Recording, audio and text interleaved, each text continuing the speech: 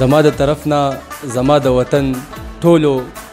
مینوالو ته او ټولو پاکستانیانو ته اندرونی ملک او بیرونی ملک څومره چې دي ټولو ته د 14 اگست جشن ازادي مبارکباد پیش کوم او یو دو شعر او تویم چې زما د دوانو سترګو تور د زړه درمان وطنه زما د دواړو سترګو تور د زړه درمان وطن او تا نه قربان وطن ستا یو کشمیر ته بلوګې کم هندستان وطن